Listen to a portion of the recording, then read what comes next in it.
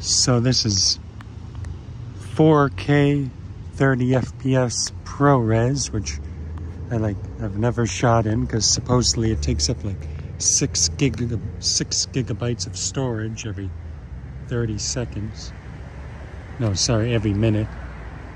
Six gigabytes of storage per minute of footage on these maxed out settings. ProRes 40 ProRes 30 frames per second 4K. Yeah. Or ProRes 4K 30 FPS. But um yeah, I'm just stopping by the post office to just get some stuff. But yeah, maxed out camera settings right now. Let me know how you think it looks.